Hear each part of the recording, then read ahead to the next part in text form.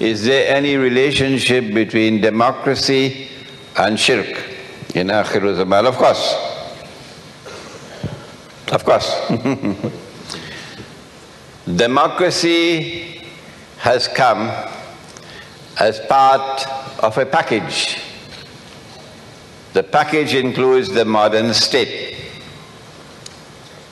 the modern republican state, hmm? the modern monarchy, the Khilafah state in Islam and medieval Christian Europe and the Hindu state, they all recognize something above as supreme. In the case of the Khilafah state, Allah is Al-Malik.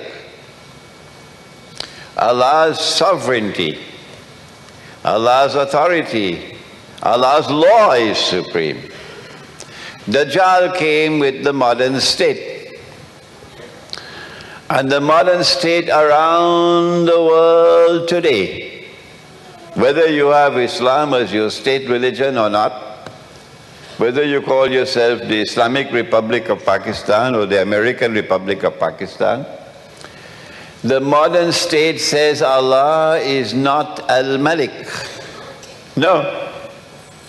Who is Al-Malik?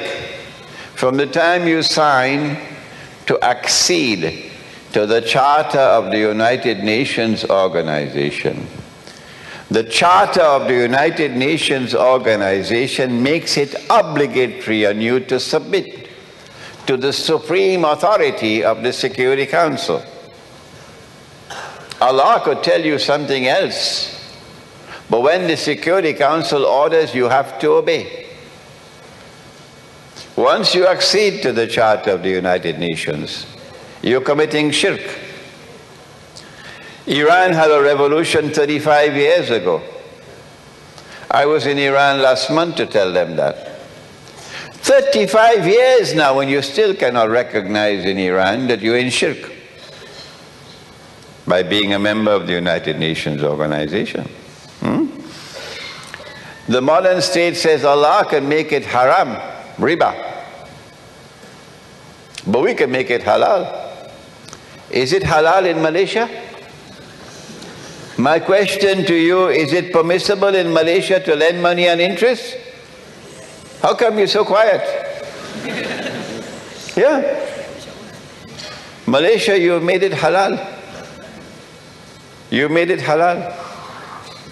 Banks lend money and interest all the time, including Islamic banks doing it from the back door. Islamic banks are lending money and interest through the back door. The commercial banks are doing it through the front door, the Islamic bank is doing it through the back door. But they will not challenge me, no. No, they will not challenge me. So it's halal. Allah made it haram and you made it halal all around the world today. If you make halal what Allah made haram, what sin is that called? Answer? It's called shirk. Where's the evidence? Surah Tawbah. Surah Tawbah. So yes, democracy is part of a package. Democracy is also part of a package called elections. And through elections you choose your government.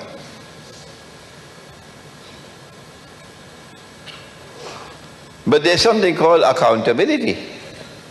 If you make a choice, you should be held accountable for your choice. Accountability. But Dajjal is very clever. In elections, there is no accountability. Because you make your choice anonymously. you see how